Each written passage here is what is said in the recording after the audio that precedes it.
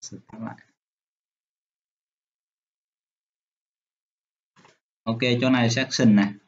Chấm set attribute là ở cao này và response chỗ này không cần send redirect gì cả.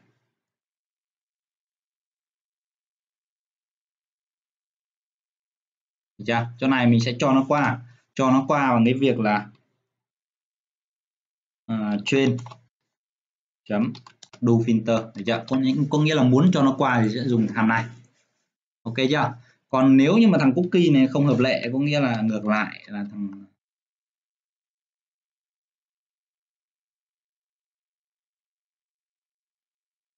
để cho nó qua và mình sẽ return. Ok. Còn nếu như mà nó không rơi vào đây, có nghĩa là nó không được qua, đúng không? Không được qua thì dưới này mình sẽ tiến hành cái thao tác là response chấm send redirect về trang login yeah. có nghĩa là nó không hợp lệ đúng không? Không hợp lệ có nghĩa là không có cookie mà nó cũng không có thằng kia thì suy ra là nó không hợp lệ đúng không?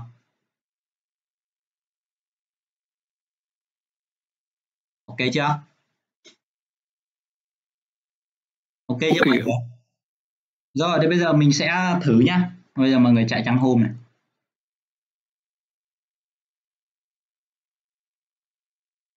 Rồi, AutoCAD này, bây giờ mọi người thử ấn AutoCAD này. Đấy nhảy về trang login thì suy ra là thằng filter của mình hoạt động, đúng không? Được chưa? Để để để để test lại thì bây giờ giả sử thằng AutoCAD này, mọi người để thằng AutoCAD 2 đi. Đấy. thì nó sẽ check với cái url là AutoCAD 2 thì bây giờ mình thử thằng AutoCAD xem nó nó có có add được không nhá. Nếu nó add được thì suy ra là cái những cái mà mình nói nãy giờ nó đang đúng đúng không? Bây giờ add to cart này, đấy, mọi người thấy add được, đúng không? Tại vì là cái thằng filter này nó chỉ trách với cái thằng hướng dẫn là add to cart 2 thôi. Hình dung được chưa? Rồi, thì bây giờ là vấn đề là bây giờ chỗ nào mà mọi người muốn đăng nhập thì đơn giản là mọi người sẽ thêm cái URL ở trên này thôi. Là xong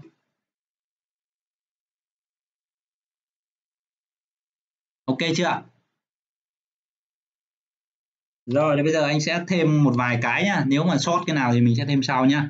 Đầu tiên là thằng cát controller này. Cát controller thì mình đang đặt à, uh, URL của nó là gạch chéo cát này. Chưa? thì uh, bật thằng này mình sẽ làm gạch chéo.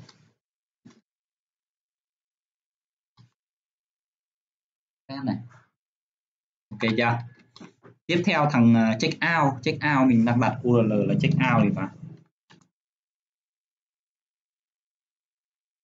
Đấy, cái chỗ nào mà mọi người muốn đăng nhập thì mọi người chỉ cần thêm nó vào cái chỗ trên đầu này thôi, đúng không? Là xong, đúng không?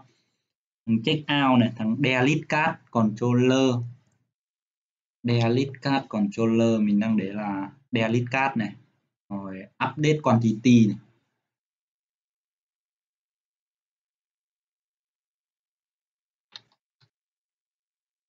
Delete card này.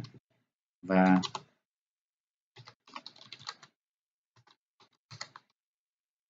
quantity. Ok chưa? Lead card này update quantity này.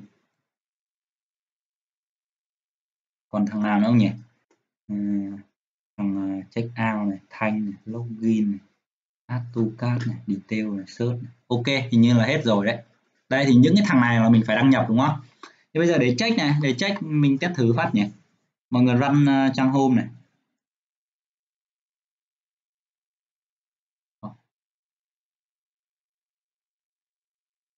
Lỗi gì nhỉ? À cái chỗ này mọi người ờ, thêm cái dấu gạch như vậy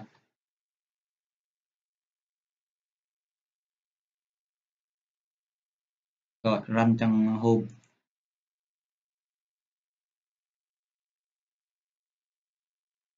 Rồi chỗ này giả sử bây giờ mọi người cố tình truy cập vào trang cát này mọi người ấn một ấn một cái nút cát này này.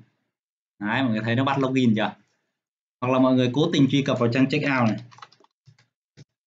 login ok chưa có nghĩa là filter của mình nó đang hoạt động đúng mục đích không mọi người? Rồi. Đấy thì như vậy là anh đã hướng dẫn mọi người sử dụng cái filter để làm chức năng là kiểm tra xem là đăng nhập cũng nghĩa là những thằng nào mà đăng nhập thì mọi người sẽ cho vào cái filter này. Được chưa? Đấy là xong cái thằng authentication. Được chưa? Tiếp theo là bây giờ anh muốn là mình sẽ làm cái thằng là phân quyền có nghĩa là khi mà em đã đăng nhập rồi ấy, thì nó lại phải check thêm một cái trường hợp nữa là à em là cái người dùng của hệ thống của mình rồi thì đúng rồi. Nhưng mà em có quyền truy cập hay không? Dạ. Có nghĩa là đăng nhập xong đấy thì phải có quyền thì mới được truy cập. Giả sử với những cái um, đường dẫn là admin chẳng hạn nó truy cập cái trang quản trị ấy thì phải có cái um, cái cái vai trò là admin thì nó mới được đăng nhập. Còn mấy thằng người dùng vớ vẩn thì không được truy cập đúng không?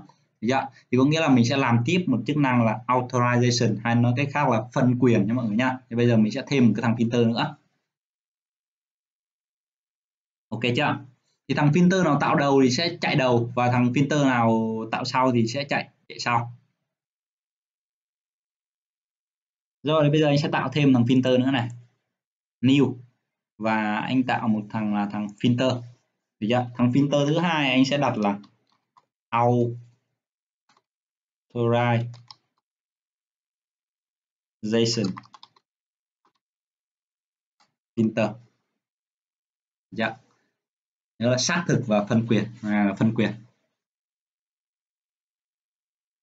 Rồi. Thì thằng này phân quyền thì anh sẽ phân quyền đối với những cái um, những cái thằng nào nó lạ.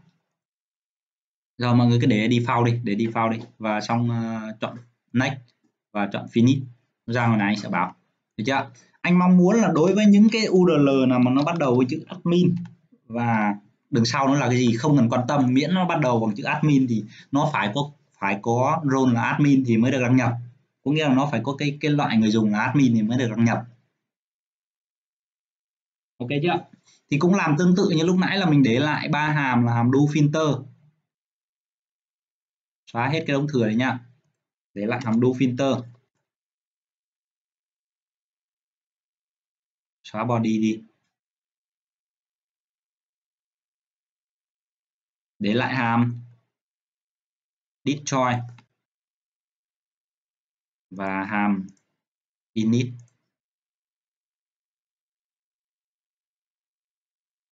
Đây, add cái này vào cho nó đỡ vàng vàng nhìn hơi ngứa mắt đúng không? Rồi còn lại xóa hết. Ok rồi thằng này đơn giản là mình sẽ khi mà nó đăng nhập rồi thì nó phải có quyền đúng không? Xem xem quyền quyền hạn của nó là có được uh, nếu phải nó nó phải có role là admin thì nó mới được truy cập đúng không? Được chưa? Rồi thì bây giờ ở trong cái bảng account mọi người uh, bật uh, uh, design. Anh sẽ thêm cho nó một cái trường là trường role. Có nghĩa là loại cái cái vai trò đấy vai trò của cái account này là gì? Được chưa? Cái role này anh sẽ để là kiểu n và trang 50 là được rồi. Sau đấy anh ấn xếp dạ anh lưu một cái thêm một cái trường là trường role nữa nhé mọi người nhá. Thêm một cái trường role đây. Dạ rồi và anh chọn edit. Edit. Anh sẽ uh, ô thằng này. Anh chọn ờ, mọi người tắt cái thằng cũ này đi. Xong rồi edit lại. Đây nó sẽ có trường role đây. Thằng đầu anh sẽ để là admin viết hoa nhé anh viết hoa nhé thằng thứ hai anh sẽ để là à, thằng đầu lại là role role role user. Yeah, user bình thường. Còn thằng thứ hai anh sẽ để là quản trị viên admin. Rồi.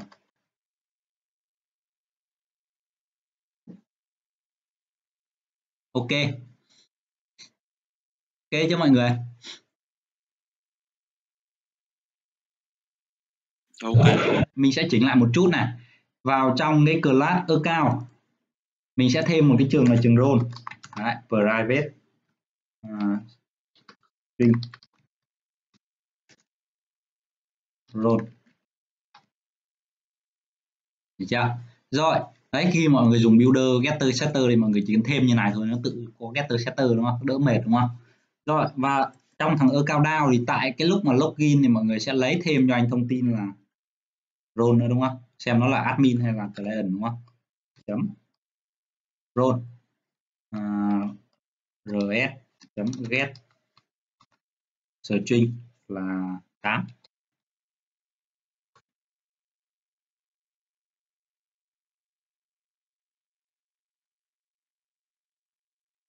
ok chưa?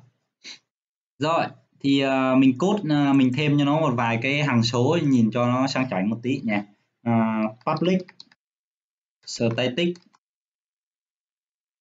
final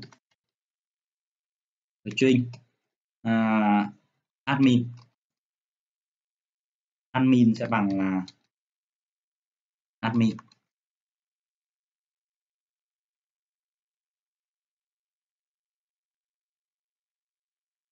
Đây admin sẽ bằng admin. Và mình thêm một cái thằng nữa là thằng uh, user.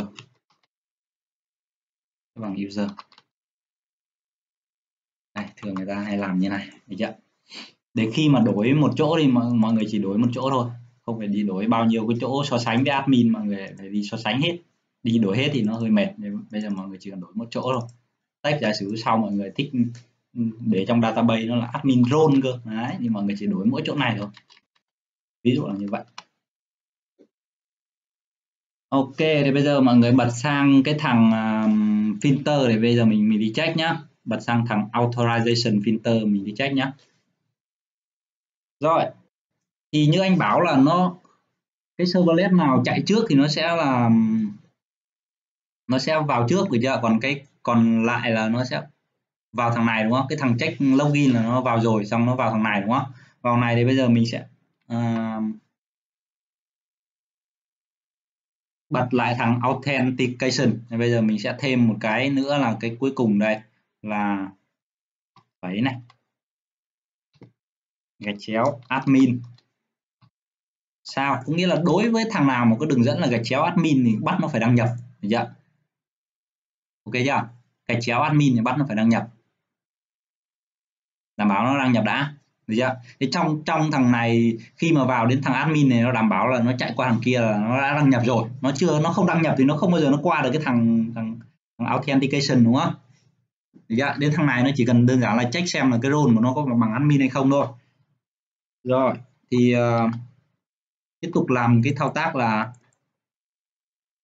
ép kiểu và lấy section.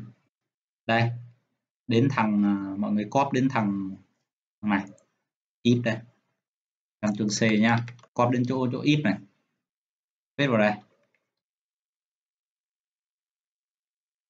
Đấy. À, cái chỗ này mình sẽ chắc chắn là nó sẽ có thằng ở cao khắc nun rồi được chưa? Nếu mà khắc nun thì cái chỗ này mình sẽ chưa cho qua mà mình sẽ phải đi kiểm tra quyền đúng không? Kiểm tra quyền thì mình sẽ là if ơ cao khắc nun và và cái thằng ơ cao này chấm thằng uh, get role dạ mình sẽ lấy cái role nó sẽ bằng với thằng ờ, uh, account chấm admin. Được chưa có nghĩa là nếu role của nó bằng admin chỗ này sẽ là equal nhé hai string thì nó sẽ là equal chấm equal này nghĩa là nếu role của nó bằng admin dạ. Bằng admin thì mình sẽ đi uh, cho nó qua đúng không? Hay nói cái khác là cho qua đúng không? Cho qua thì sẽ là trên chấm do filter đúng không? Được chưa? Còn ngược lại và mình sẽ ờ, return được chưa? Ngược lại thì bây giờ mình sẽ ờ, không cho nó qua đúng không? Không cho nó qua thì mình có nhiều cách ví dụ như là mình sẽ respond về trang login và mình sẽ là request chấm set attribute. Mình sẽ set cho nó một cái arrow là các bạn không có quyền truy cập hay là cái nào đấy thì tùy mọi người, hoặc là mọi người respond sang một cái trang khác thì anh respond thẳng về sang trang login luôn. Cái này chỗ này là zero uh, not permission. Này à, không có quyền. Yeah. và request chấm uh, get. Request departure. Anh về trang login.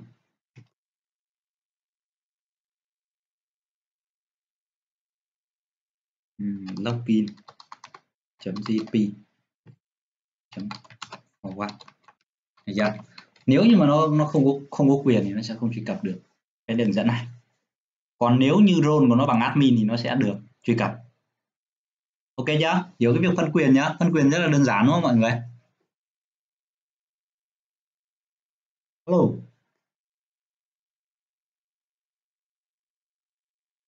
Alo anh đợi tí thầy cút ạ ừ.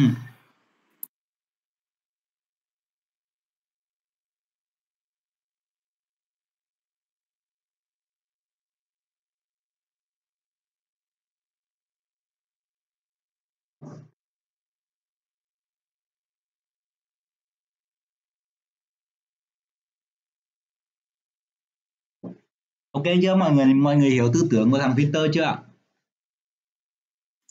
Ok. Ok rồi đúng không? Đấy thì sau cái bài hôm nay thì anh mong muốn là những cái chức năng ví dụ như là xác thực hay là phân quyền thì nó làm nó là đơn giản nhá mọi người sẽ không không phải lăn tăn những cái việc là em không biết dùng filter để làm cái gì em không biết là áp dụng nó vào thằng phân quyền và và ừ, đấy như thế nào nhá. Thì sau cái bài học hôm nay thì mình sẽ làm được nhá giả sử cái app của mọi người nó có nhiều loại hơn thì mọi người sẽ phân quyền theo từng loại ví dụ như là admin rồi ừ, rồi user rồi các thứ nó bắt đầu cái này này. Ví dụ như là admin thì nó phải phải có quyền là admin. Rồi ví dụ như là đối với thằng uh, giả sử mọi người có thêm cái thằng member hoặc là vip chẳng hạn thì nó phải có cái role là vip ví dụ là như vậy. Đấy cái đấy thì mọi người tùy biến nhá. Anh chỉ dạy cái cái cái cái core thôi ok rồi bây giờ để check thì bây giờ giả sử anh tạo ra một cái trang admin nhá. Mọi người tạo giúp cho anh một cái serverless, à, giả sử anh để là admin. À, controller. Được rồi. Thì để cái thằng này nó nó phải check role admin thì mình phải để cái url nó bắt đầu bằng cái thằng admin đúng không? Được chưa rồi gạch chéo này. Và bây giờ anh sẽ đến cái thằng là um, giả sử anh để là trang à, dashboard đi yeah. thằng dashboard đi. Thì thằng admin mới được vào cái trang dashboard này. Ví dụ là như vậy. Rồi, anh finish rồi, trong cái chỗ này thì anh sẽ là, đơn giản là anh sẽ request chấm get get departure sang cái trang là dashboard chấm đó. cái chữ bot viết như này đúng chưa nhỉ?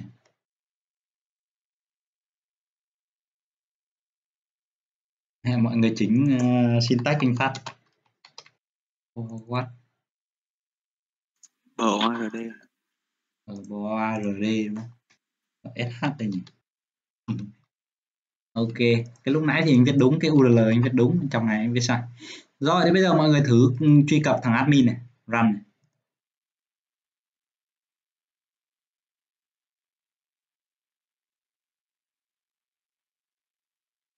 Dashboard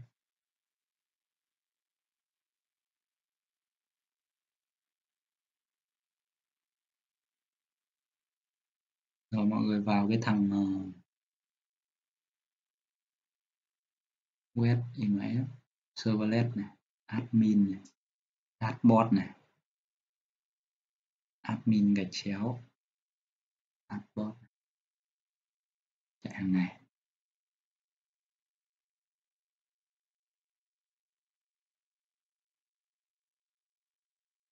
à, ok thì uh,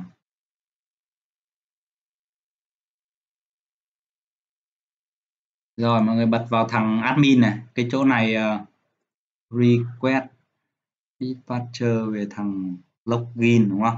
Thằng login này mọi người chú ý nhá. Thằng login này cái thằng login GP này thằng admin à thằng dashboard của mình nó đang lùi vào một cấp. Mọi người thấy là nó đang lùi vào một cấp. Thì bây giờ mà mình mà muốn uh, truy cập ra thằng thằng ở ngoài thì mọi người sẽ là chấm chấm gạch như này nhá mọi người nhá. Và thằng dashboard này mọi người cũng ờ, dashboard. Rồi, cứ thử đi. Admin.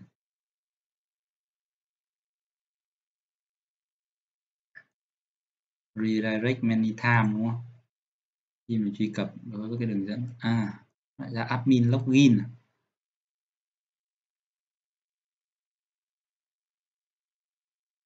login.jp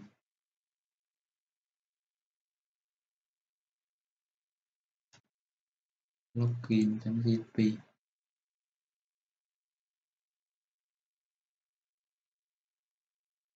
admin dashboard ok.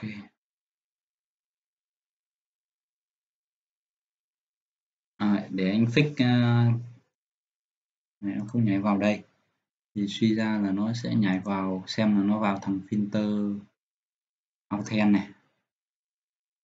Đầu tiên là nó phải vào thằng này.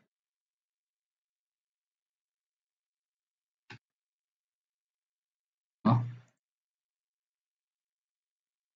Không vào thằng này à?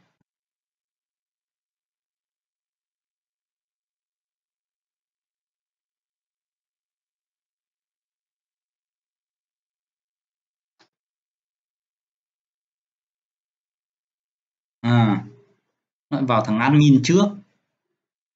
Vào thằng admin trước vào thằng uh, kia sau. Rồi thì uh, với XML mọi người bật thằng filter này. À.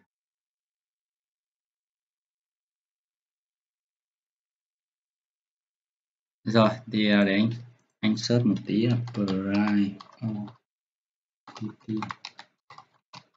price in.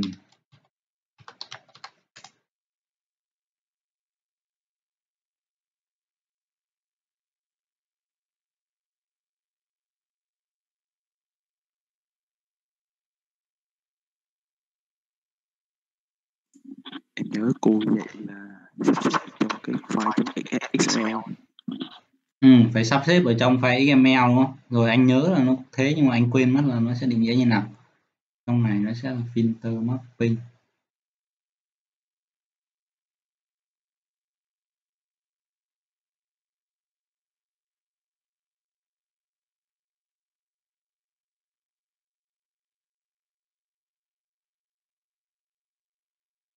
Filter name. Filter 1 filter 2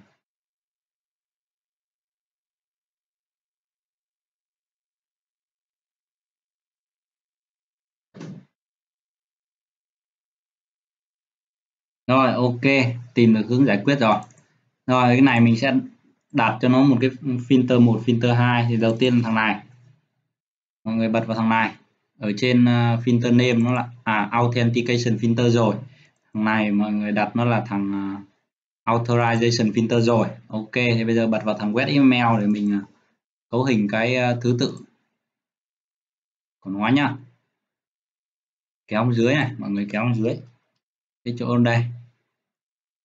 Bây giờ mình sẽ lấy theo của nó là filter mapping này. Đây. Copy này paste vào đây.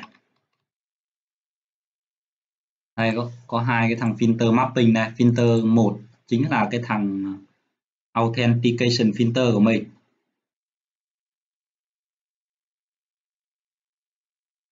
Dạ, mình sẽ quy định thằng nào là thằng trước, thằng nào ở trên này nó sẽ, sẽ trước này. Đến authorization là thằng này. Để sau URL mapping để rỗng như này. Rồi, bây giờ thử debug thằng Authent này xem nó vào trước hay là vào sau nhá. Nhưng mà đầu tiên mọi người chạy thằng admin.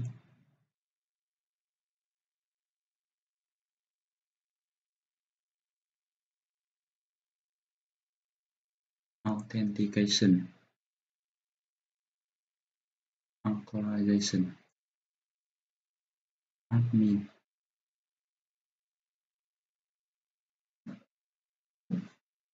Rồi.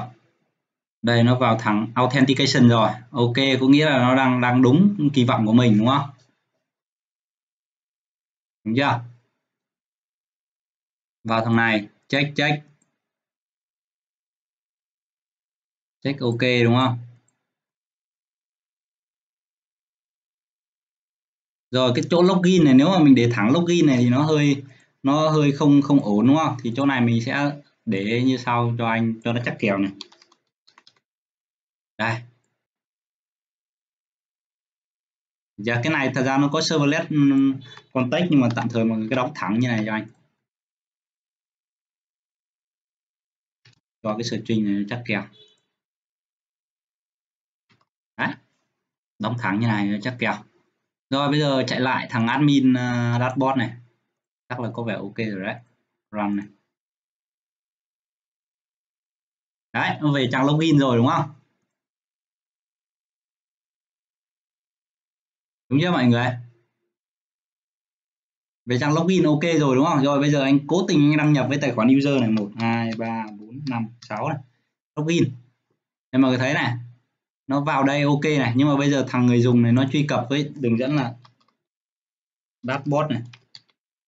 Được chưa? Admin chứ. Phải thêm chữ admin. Admin dashboard này. Enter. Này, not found uhm. mọi người bật sang thằng authorization nhá. Cái chỗ login GP thì mọi người cũng uh, để là chấm chấm gạch như này nhé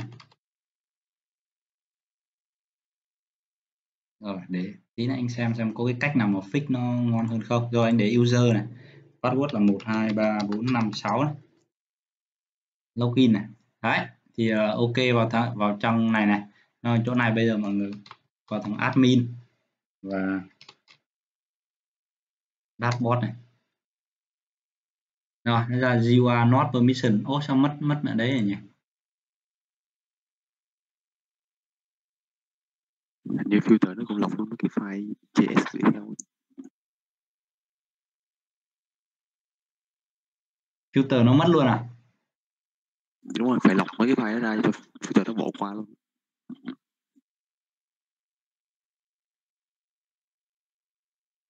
Thì uh, nó là static suộc thì uh, rồi tạm thời cái thằng này mọi người comment nó lại và để nó redirect về trang login nhé hôm sau anh sẽ hướng dẫn mọi người custom cái, cái tag kia nhé được chưa? Để nó về login này đi. Ok thì bây giờ khi mà mọi người ờ, vào dashboard này bây giờ mọi người đăng nhập user này một hai ba bốn năm sáu login này.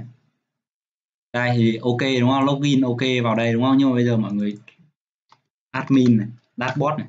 Đấy thì nó về trang login. Có nghĩa là thằng này chưa chưa coi như là chưa có quyền đăng nhập được chưa? Nhưng mà mọi người vẫn truy cập được các trang như như trang home ok không? Ok không? Mọi người nó chặn được cái thằng thằng admin dashboard này này. Được chưa? Bây giờ anh thử đăng nhập với tài khoản admin nha. Một hai ba bốn năm sáu. Enter. Rồi đăng nhập xong chuyển sang trang uh, admin dashboard. Dashboard à, ờ, chỗ này mọi người cũng thêm cái chấm chấm gạch như này.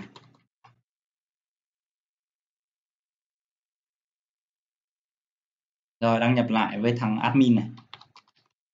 Một hai ba bốn năm sáu này. Login.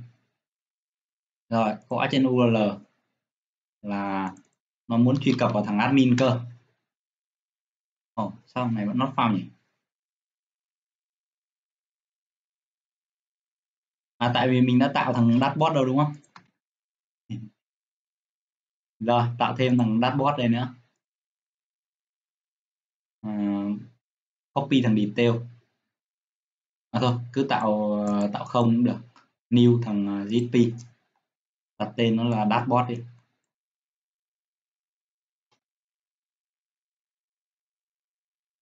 Dashboard.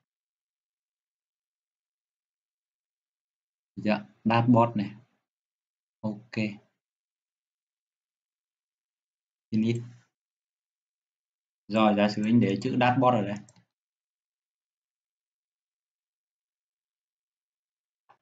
Xếp nó lại. Dạ. Rồi, bây giờ anh lên URL anh gõ thằng admin dashboard này. Đấy, nó vào được trang dashboard rồi, tại vì nó đang đăng nhập với cái role là admin ok chưa? Nắm được cái cái cái cái chức năng phân quyền chưa hả mọi người?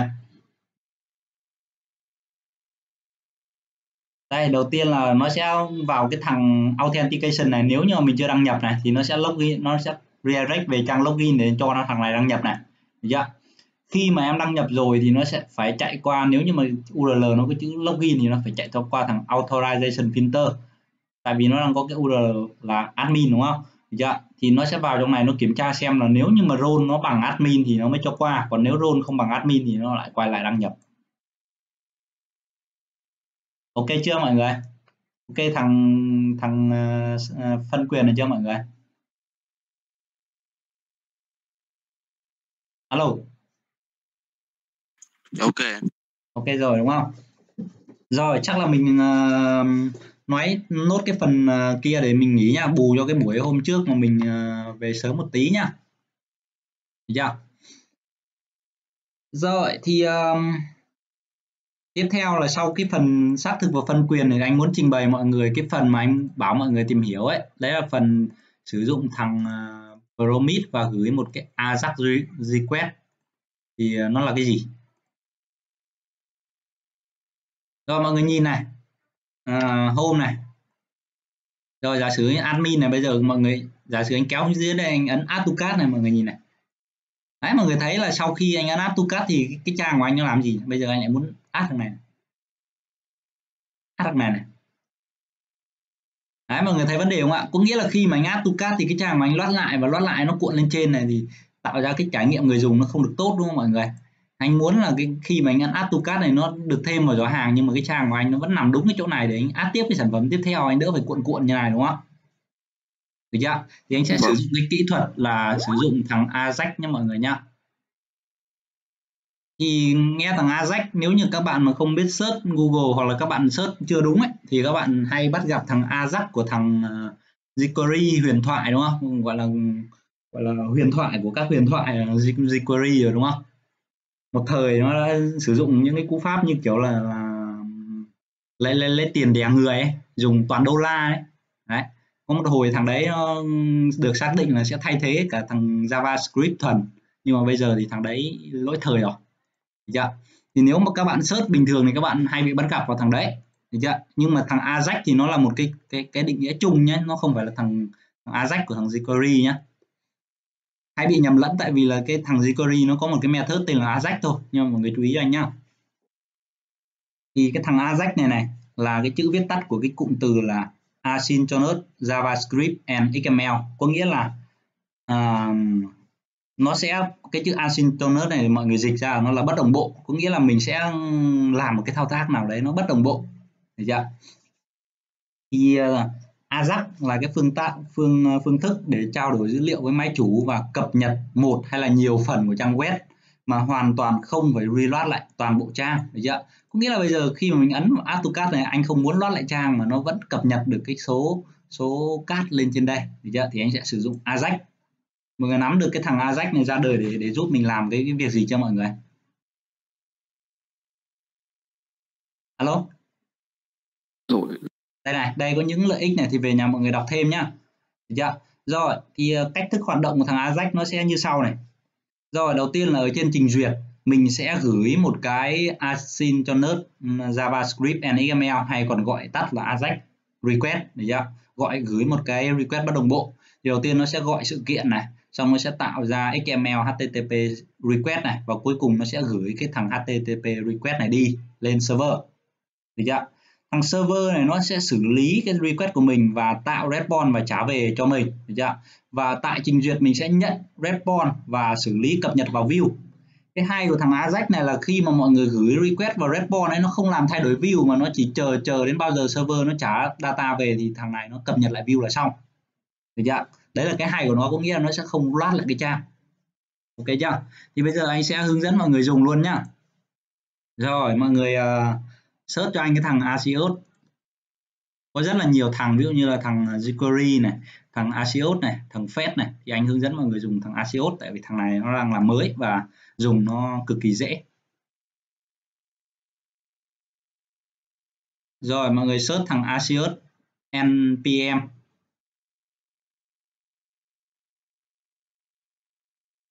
rồi mọi người link nó sang cái thằng uh, homepage đây home homepage của nó đây.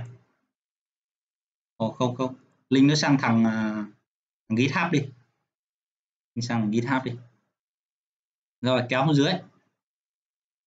Dưới đây nó sẽ có hướng dẫn cách dùng này, link sang thằng GitHub có hướng dẫn cách dùng này. Thì để dùng thằng này rất là đơn giản là bây giờ mọi người copy cái thằng script này. Copy vào nha. rồi tại chỗ nào mình muốn dùng thì bây giờ anh muốn dùng tại cái trang mà AutoCAD thì chính là trang index đúng không anh muốn dùng đúng không anh sẽ viết vào đây đây. Add cái thằng à, axios Asios này vào đây. Được chưa? Rồi, bây giờ anh muốn à, khi mà ấn add to cart thì bây giờ nó sẽ, thay vì nó gửi gửi sang serverless như này thì anh sẽ gửi một cái thằng bất đồng bộ để à, xử lý, để nó không phải loát lại trang. Được chưa? Thì bây giờ thay vì là anh để add to cart như này, thì bây giờ anh sẽ xóa cái thằng href này đi. Anh sẽ gọi một cái method là AutoCAD async dạ. AutoCAD async có nghĩa là gửi AutoCAD nhưng mà nó bất đồng bộ, có nghĩa không phải loa lại trang và trong cái hàm này thì anh sẽ truyền vào cái đô la, chính là cái thằng à, p chấm id được chưa? Nó là, và cái chỗ này anh không để là, này nữa mà anh để là on click có nghĩa là khi mà ấn vào cái chữ add to cart thì nó sẽ gọi cái hàm javascript là add to cart async. Được chưa? Cái hàm này ở đâu? Hàm này thì bây giờ mình tạo script này.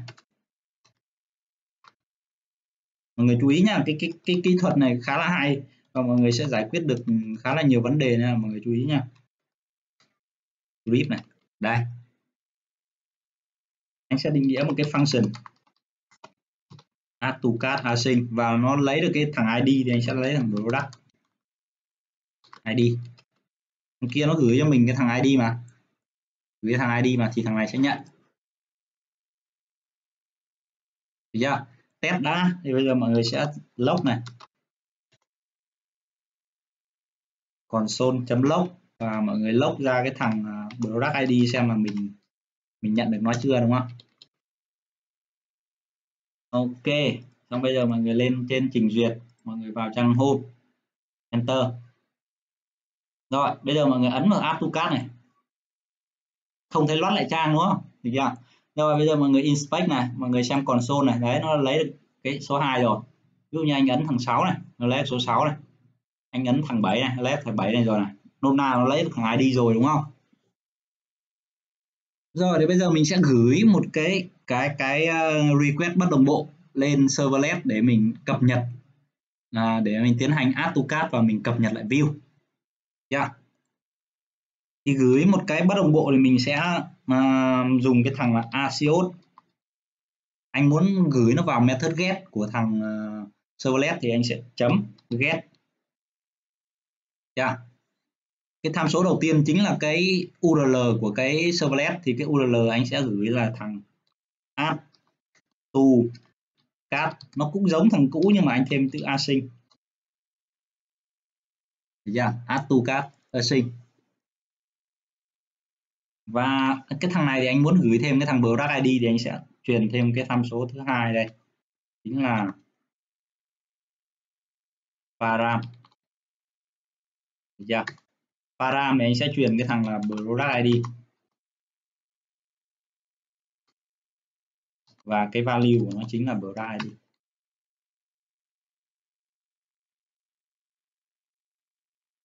chưa thì cái thằng Asios này nó là trả về một bromid. Đấy là lý do mà anh hướng dẫn mọi người là phải đọc thằng bromid ấy.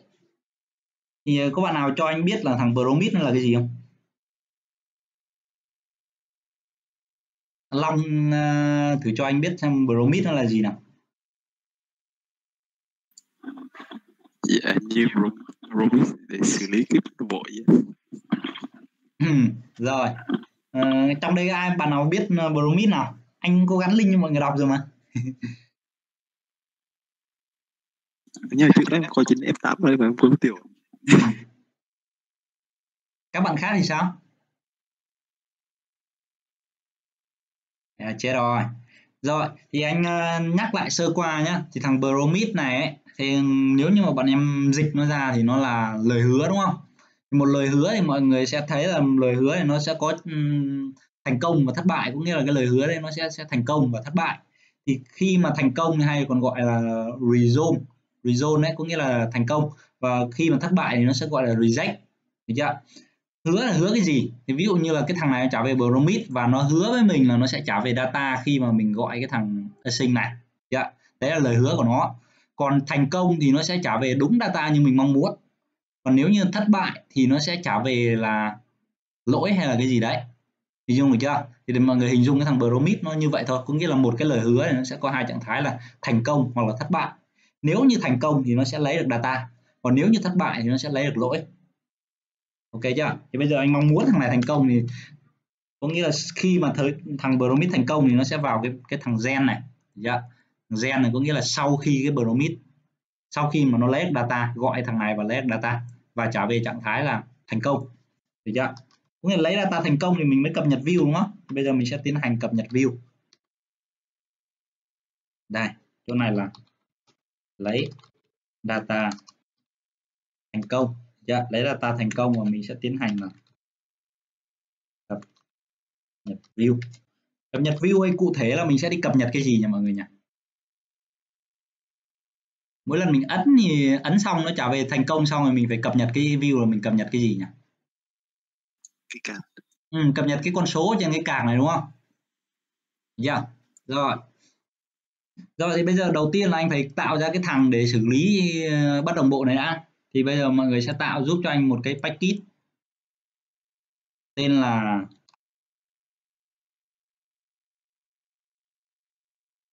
controller chấm. Giả sử anh đặt là async đây là những cái controller mà bất đồng bộ.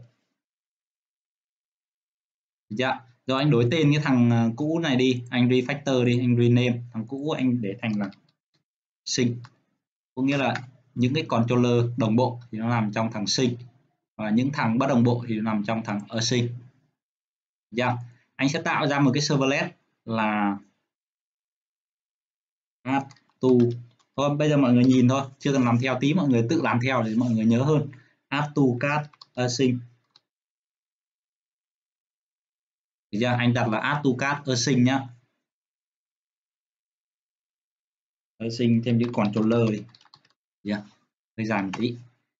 Ok, cái url của nó thì sẽ chính là cái url này. Nó tương tự như thằng servlet bình thường thôi. Add to card. Async được chưa? Rồi, anh chọn finish cái thao tác add to thì anh sẽ thực hành y hệt cái thằng add to ở bên này. Đấy. chính vì vậy thì anh sẽ bật cái thằng add to này. Anh copy.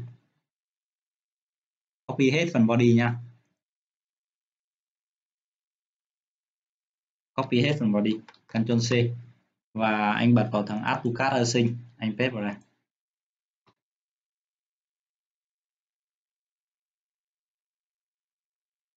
Được chưa? Thì khi mà mình dùng Axios gửi thì mình gửi cho nó thằng product ID thì nó cũng nhận được product ID này, tiến hành các thứ các thứ này, cập nhật này và lưu nó lên section này. Ok chưa? Rồi, cái thằng này mình chỉ lưu lên section thôi, mình sẽ không redirect cái gì cả. Xóa redirect đi. Được chưa? Rồi, bây giờ data mà mình mong muốn nhận được thì mình mong muốn nhận được cái gì sau khi mà mình add to cart nhỉ? Mong muốn nhận được là cái số cái số sản phẩm trên giỏ hàng đúng không mọi người? Rồi thì bây giờ muốn nhận được cái gì có nghĩa là muốn data trả về được cái gì thì mọi người sẽ dùng thằng response và chấm get writer rồi chấm print. Mọi người muốn trả về data thì mọi người print. Print giả sử dùng print line cũng được. Anh sẽ truyền vào cái thằng là h chấm sai thì ra có nghĩa là khi mà gọi cái servlet này thì nó cuối cùng nó thực hiện là add to cart và nó trả về cho mình cái cái sai ok không ạ? Xem lại nhá. Rồi, bây giờ làm nào lấy được thằng sai này? Thì bật sang thằng index. Trong method gen thì bây giờ mọi người sẽ lấy thằng response yeah. Dạ. rồi thế bây giờ mọi người thử lấp thằng response này ra xem nó có gì. Xem là sau khi mà gửi thành công thì nó sẽ trả về cái cái, cái lời hứa thành công là nó sẽ trả về cái gì? Dạ. Yeah. response đấy mọi người nhìn thôi nhá. Nhìn thôi tí nữa mọi người làm sao? Ấn vào home này. Đấy xong xuống dưới này ấn này add to cart này. Mọi người thấy nó trả về một cái data này. Trạng thái là 200 có nghĩa là ok là thành công đấy được chưa? À, và nó có mọi người nhìn thấy nó có một cái cái cái cái thằng data này. Đấy, data. Data của nó đang bằng à, bằng ờ, bằng rỗng đúng không mọi người? Dạ đúng rồi. Bằng rỗng thì thằng data này đang chưa đúng đúng không? Chưa đúng mong muốn của mình đúng không? Mong muốn của mình là khi mà ấn xong thì nó phải phải có được data cơ thì bật sang thằng này xem cái chỗ response.get writer print của thằng cat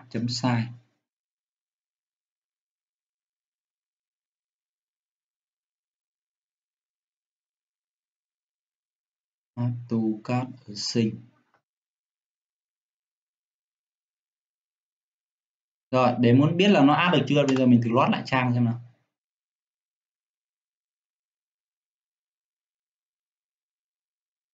User một, hai, ba, bốn, năm, sáu.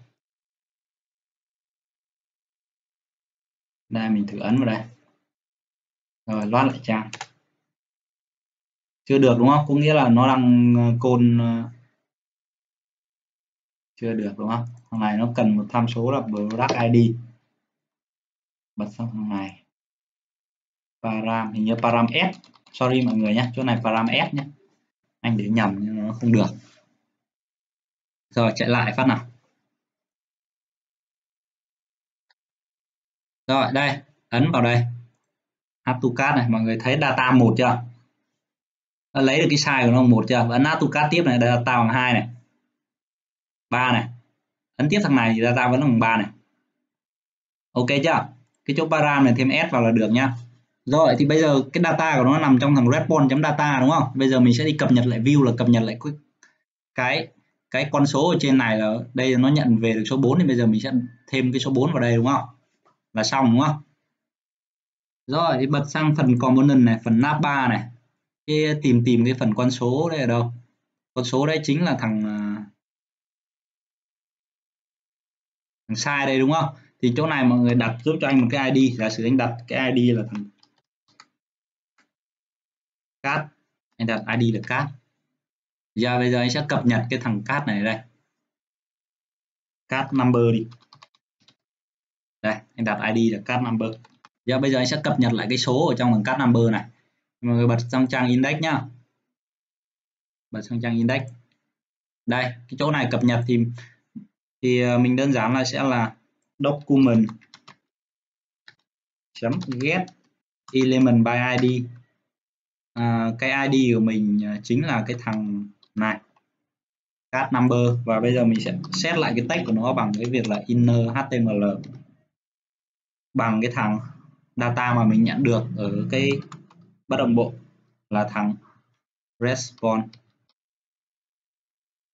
chấm data. Ok như vậy là xong. Cập nhật uh, lại view thôi. Rồi bây giờ mình chạy thử nhá. Chạy thử này. Rồi bây giờ mà ấn vào đây này. Rồi không thấy loát lại trang nhưng mà mới kéo lên thấy số 1 chưa? Ngon chưa? Này. 4 này. Ok chưa? Ấn vào đây nó vẫn chạy bình thường nhá. Uh, user 1 3 4 5 6 cái thằng async anh anh chưa check nó đăng nhập thì tí mọi người thêm vào filter nhá. Được chưa? Mọi người thấy nó vẫn có số 4 đây. Ok chưa? Ok chưa mọi người? Đấy thì nôm na cái thằng cái thằng uh, Axios này nó sẽ giúp mình là gửi một cái thao tác đến một cái serverlet.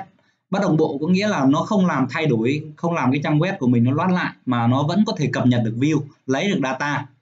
Thì đấy nó gọi là là Ajax. Được thằng Ajax này và cái thằng async controller này thì mọi người có thể hiểu là sau này nó giống như một cái file để mọi người viết được ờ, API đấy. thì nôm na thì cái thằng này nó gần giống như cái API đấy thì sau này nó có thể trả về dữ liệu JSON rồi trả về các thứ các kiểu. Thì tạm thời mọi người nắm được cái cái ờ, cấu trúc như này là ok. Được chưa? Rồi có bài tập về nhà cho mọi người đây. Bài tập về nhà thì để mà mọi người nắm thêm về cái thằng Ajax này thì bây giờ mọi người thấy này giả sử như là cái bây giờ mọi người ấn thằng hai thằng ba này nó giật giật này đúng không? Mọi người thấy nó nó, nó loát lại trang không? Giả sử kéo kéo xuống dưới này nhá. Ấn 6 này loát lại trang đúng không? Loát lại trang đúng không? Thì bây giờ anh muốn là mọi người sử dụng ajax để cho nó không loát lại trang ok chưa? Rồi thì cái ajax này mọi người hoàn toàn có thể trả về một cái trang html bình thường nhá. Ví dụ mọi người muốn thay vì mọi người muốn trả về một cái print thì mọi người hoàn toàn có thể trả về html bình thường. À, bằng cái việc là request chấm get request uh, departure sang một cái trang JP nào đấy có thể trả về HTML bình thường nhá ok chưa? Về nhà làm thử nhá.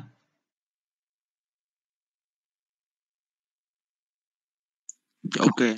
Ừ, ok rồi thì chắc là nếu mà không còn vấn đề gì thì uh, buổi học nay mình nghỉ ở đây thôi nhỉ? Về nhà mọi người anh ơi sao hỏi cái này thấy ừ, hỏi đi em. Lại lỗi rồi.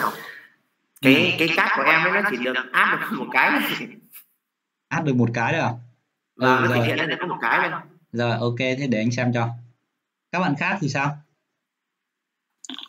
Em là bị lỗi login. Lỗi login à? Kiểu em đăng nhập đúng tài khoản thì nó mua được mà đăng nhập sai cái là tiến cái tiến nó nó nó, nó gọi lại cái login liên tục luôn. Trong nó tạo cái mũi lỗi luôn. Ừ ok. Thế thì uh, rồi thế để anh support uh, mọi người nhá. Thế thì từng bạn một đi từng bạn một lên đi. Hoàn trước lên ừ